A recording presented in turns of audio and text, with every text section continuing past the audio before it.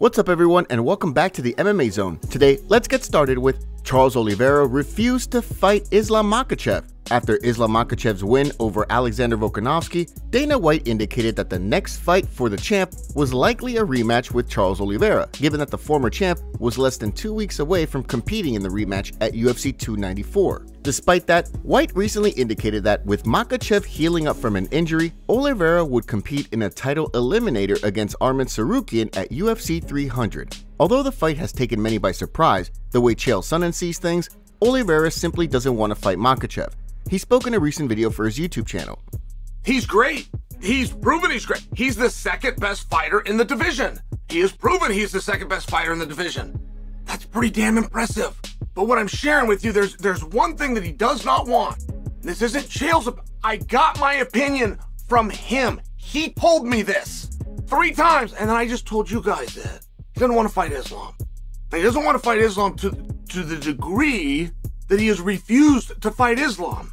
As Dana White indicated, the winner of the Oliveira vs. Tsarukyan fight will compete against Islam Makhachev when the champ is ready to return to action. Of course, videos of Makhachev on social media have shown he is not injured, leading many to wonder why White indicated that he was injured and unable to compete. Next up, let's take a look at Sean O'Malley fires back at Umar Nurmagomedov. Bantamweight champion Sugar Sean O'Malley may be gearing up for a highly anticipated rematch with Chito Vera. However, the champ has continued to find himself in the crosshairs of some of the division's best contenders. With the title eliminator between Merab Dvalishvili and Henry Cejudo rapidly approaching, and fighters like Corey Sandhagen and Umar Nurmagomedov sitting just outside of title contention, it's an exciting time for the 135-pound division. While speaking in a video for GQ Sports, O'Malley addressed Nurmagomedov recently claiming that he will choose how to finish the champ. Yeah, Umar's definitely a dangerous opponent. I think he just has an issue getting two fights.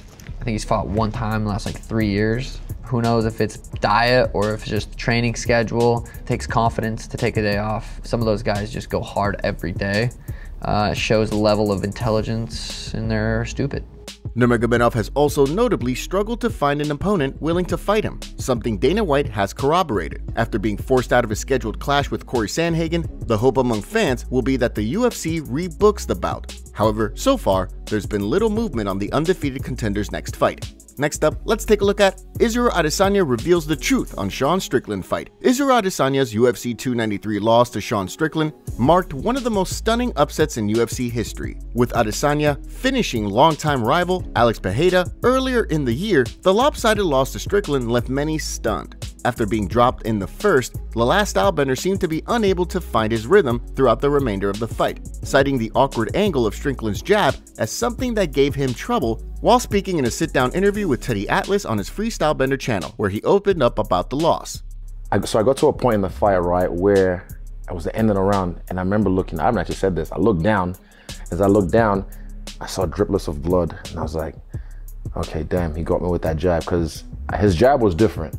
It was something that I, it was like it was like a hammer fist. It was hitting me with this part of his knuckle. But still, kind of like what you said, I didn't. I never lost hope. I went back to the corner. I was like, right. So I was even like when I asked Eugene Bareman, the fifth round, like, is this the fifth round? He's like, yeah. I was like, right. And I said, should I just should I just go? he's like, no, no, let's be tactical because I, I wanted to like as the last stylebender went on to explain, he was ready to go out on a shield if necessary in order to get the challenger out of there once he realized that he was too far behind in the scorecards to win a decision. However, Eugene Bareman urged him to stick to the game plan. With the former champ expected to return in 2024, the big question is who will he wind up competing against? Now, let's shift gears and take a look at MMA community goes off on Jorge Masvidal versus Nate Diaz. When Jorge Masvidal announced recently via social media that he was unretired, many fans theorized as to what the news could mean. Given that he's still under contract with the UFC, it sounded as though his options were limited to a UFC return. Since then, however, Happy Punch has indicated that the plan is for Masvidal and Stockton superstar Nate Diaz to compete in a highly anticipated rematch, this time in the boxing ring. Although according to Ariel Helwani, Diaz's rep declined to confirm the news, he indicated in a follow-up tweet that neither fighter was in discussions to return for UFC 300, with a rematch in boxing being the end goal all along. Amid Masvidal opening as a heavy betting favorite for this fight, fans have continued to share their reactions to the bout, with one writing, lamest fight there could be.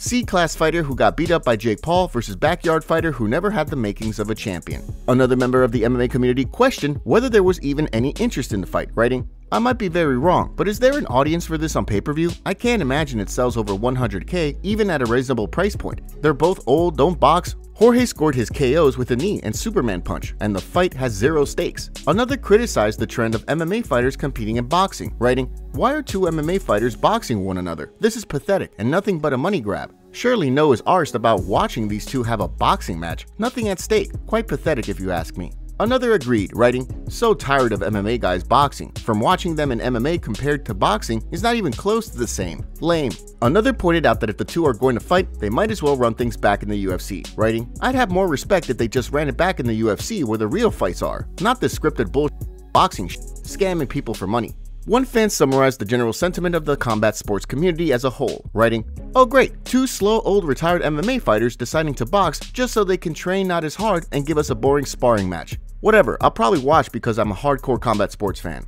Although the fight is still in the works, it sounds as though if Masvidal winds up getting released from his UFC contract, there would be little in the way of a fight happening. Next, let's take a look at UFC fight updates. With a stacked schedule ahead, the UFC has continued to announce exciting fights while rounding out upcoming cards. Without further ado, let's take a look at today's UFC fight updates, starting with three new bookings for UFC Mexico on February 24th. The event will now play host to a fight between Daniel Zellhuber and Francisco Prado with Zellhuber looking to build on a two-fight win streak, and Prado looking to build momentum on a win over Ottman Azaitar back in July. The event will also play host to a featherweight clash between Mohamed Naimov and Eric Silva, with Naimov looking to extend his unbeaten streak in the UFC after rattling off back-to-back victories last year. While on the flip side, Silva will be looking to bounce back from a loss to TJ Brown in his UFC debut back at UFC 282 after a year-long hiatus. The third and final bout announced for the card will see Luis Ronaldo Rodriguez compete against Dennis Bondar, with Rodriguez looking to successfully make his UFC debut amid a five-fight victory streak. On the flip side, Bondar will be looking to snap a two-fight skid that has seen him go winless in the UFC. The following month, two new fights have been added to the UFC 299 card, with Michel Pereira set to fight Michael Oleksiejczuk and Robelis Despaigne set to compete against Josh Parisian. The event will see Pereira look to build on an impressive win streak that most recently saw him compete at 185 pounds, while Oleksiejczuk looks to build on an August victory over Chidi Njokuani.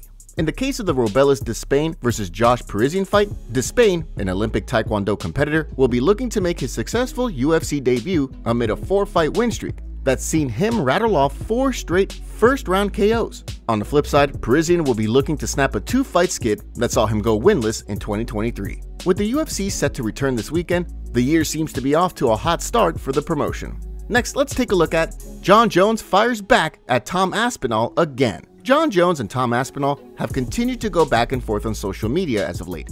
The way their interim champ sees things, if Jones isn't going to be defending his heavyweight title in a unification bout, then he has no business sitting atop the division. With Jones sidelined for the near future as he recovers from a torn pec, Aspinall has continued to voice his frustrations on social media.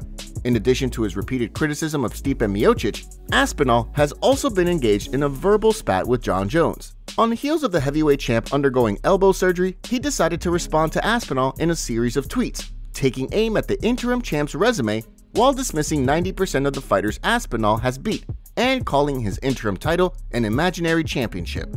As Jones notably indicated on Tuesday, the one thing he refuses to do is stick around for too long like some other fighters. The tweet led many fans to believe that Jones was confirming his retirement after the upcoming fight against Miocic. However, that doesn't appear to be the case. As Jones was quick to write back, the tweet was not meant to be indicative of his plan to retire. In a follow-up, he alleged that beating Aspinall simply doesn't do anything for his legacy. With no word on what the UFC has in store for Aspinall, while he waits for Jones vs Miocic to play out, it sounds like this saga is far from being over. Next, let's take a look at Conor McGregor will never be the same. Ahead of Conor McGregor's highly anticipated return to the octagon, a number of questions remain about how he'll look given that he's been out for several years and will be looking to return from one of the most gruesome injuries in all of professional sports. The way longtime UFC veteran Matt Brown sees things, if McGregor returns, he's unlikely to ever come close to his former greatness. He spoke on a recent episode of The Fighter vs. the Writer to discuss the state of McGregor's career as he looks to begin training camp for his big return. He's not getting back to a title. He's not. He's not going to do anything uh, significant ever again. He's got 500 mil in the bank.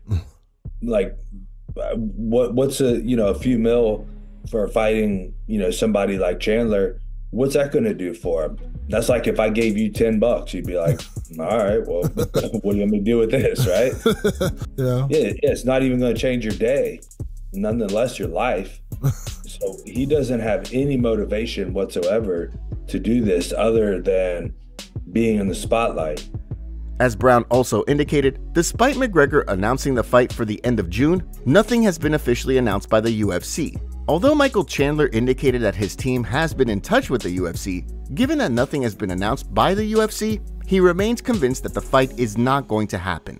The MMA community reacts to Sean O'Malley's recent picture he posted to Instagram. In the photo, Sean looks noticeably more jacked than his usual self. Fans are speculating that USADA not being a part of the UFC has something to do with his bigger muscles. Here's what some fans had to say. USADA left and every UFC fighter turns into Vitor. Buddy moving up to middleweight I see. Sean heard USADA not around anymore and had to lock in bro on that Paulo secret juice. That USADA absence do hit different when you're the champ. All the UFC fighters on steroids now. The Cheeto leg is looking a little bigger than the other one. Bro needed extra protection for the peroneal nerve. Sean Strickland goes off on the UFC for their lack of consequences when it comes to being popped for steroids. He posted to Twitter saying, If you pop for steroids, EPO, whatever the f it is, it should be a lifetime ban. Tainted supplements is one thing, but the real sh- lifetime ban. If UFC or athletic commissions gave a it would be standard. Most of the roster would agree to this. Top comments. I know it sounds crazy, but people need to stop giving Dana such a hard time. Believe it or not, he'll be missed when he's gone. Ian calling people sheep when he's the one eating out of the hands of a manipulator. Imagine Conor McGregor calling someone out for steroids. I'm tired of Jon saying he's the best when he's not a people's champ and he's been caught for roids, and not even being able to handle himself after a win, keeps getting DUI left and right and beating his wife, then still claims his legacy is top tier, but was very super juiced up and like, shut the F up. He couldn't even keep his belt half the time.